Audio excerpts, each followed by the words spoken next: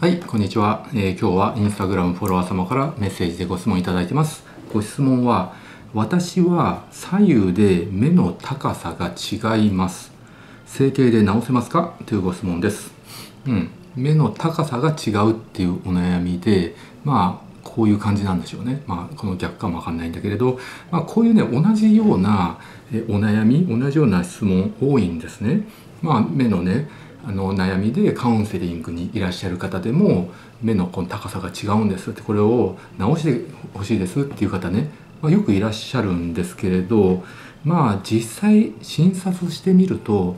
まあ診察した方のね99%ぐらいはもうほとんど気にしなくていい程度の高さの左右差なんですよ。っていうのは人間の顔ってね必ず左右ね非対称なんですよ。まあ、鏡をこうやって合わせてねあの見てみれば分かると思うんですけれど右の顔と左の顔って実は全然違うんですよ。もうこれはねもう芸能人とかでもそうなんです。もう美人だイケメンだって言われてる芸能人でも微妙に右の顔左の顔違うんですね。目の高さも違うしあの輪郭のねフェイスラインとかも違うんだけれどまあ世の中の人ってもうみんな左右差があるんだけどほとんどの人はそれに気づかないし気にしないで生きているんですね。で、まあ、美容整形にいらっしゃる患者さんで目の高さが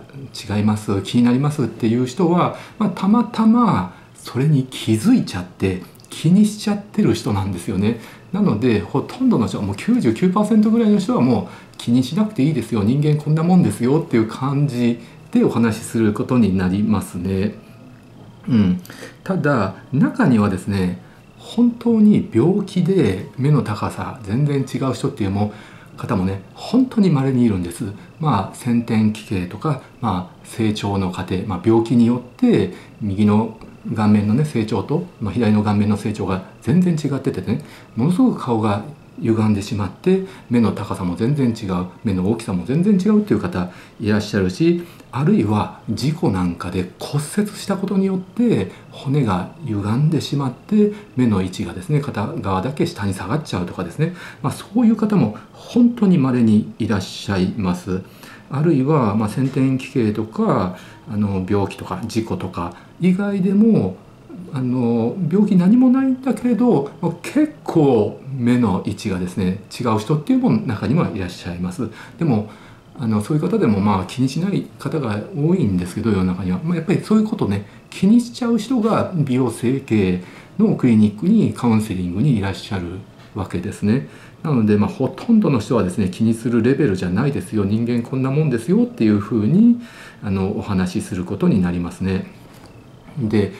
じゃあこれ整形で直せるのかってそれでもいいから直してくださいってあの言う方いらっしゃるんですけれどじゃあもし目のついてる位置をあの高さを左右合わせるんだったらまあ骨を切らないといけないわけですね。もうものすごく大きな手術ものすごくリスクの高い、まあ、眼下骨切り手術とかをしないといけないわけであって、まあ、結局眼球っていうのは眼下っていう眼球を入れる骨の入れ物があってその眼下の位置によって眼球の位置って決まってるんですね。なので眼球の高さを合わせるんだったら、まあ、片側を上に上げるんだったら眼下をこういうふうに骨切りしてその眼下を上の方に移動してそこで固定するとかですね。ものすごい大大掛かりなね大手術しないといけないわけですね。それがあの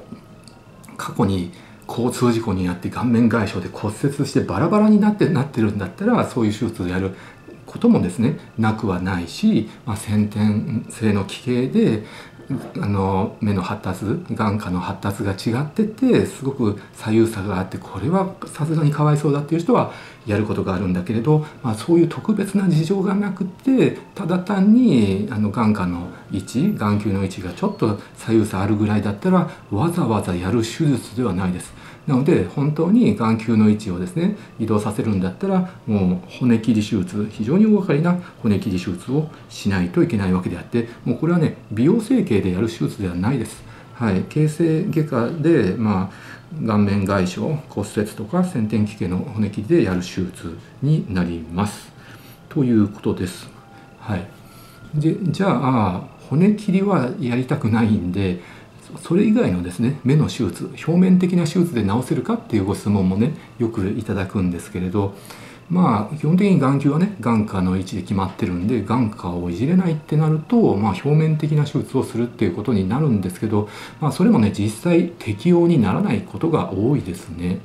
うんまあ、例えばこっちの目よりもこっちの目の方が、まあ、ちょっとつり目とかそういう感じだったらあのつり目の方をですね目尻切開プラス垂れ目形成してここ下げると、まあ、ちょっと対象に近づくかな、まあ、それ眼球のついてる位置っていうよりかは、まあ、つり目と、まあ、つり目があのそれほどつり目じゃない目を合わせるっていう感じになりますし。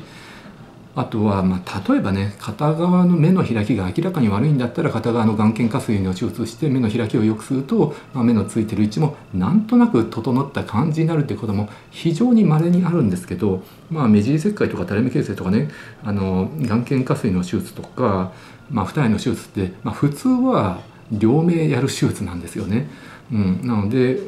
目のついてる位置を左右整えるために表面的にそういう手術をしてもまあ、あんまり変わることはなくてむしろ両目やった方がいいですよね。まあ、目が小さいから余計にその高さの位置が気になるってこともあるからまあ必要があれば一人で目が細い人なんかは二重の手術したりあるいは眼瞼下垂の手術することによってあの目の枠を広げて目を大きくすることによって、えー、高さの左右差が目立たなくなって、まあ、気にならなくなるっていうこともあるわけでございます。はいということで、まあ、目のついてる位置左右差があって直したいっていう方はほとんどの人がですね全くやる必要はない手術です。やっぱりね美容整形の患者さんって普通の人がねもう全然気にならないことを気にするっていう方が多いのでまあほとんどの方はそんな感じですねもう99%がそうです、まあ、ごくまれに1%ぐらいさすがにちょっとこれはかわいそうかなっていう方もいるけどそういう方はもう先天性奇形か顔面外傷かうん、それ以外の方では本当にほとんどそういう方はいらっしゃらないですね。はいということです。ご視聴ありがとうございました。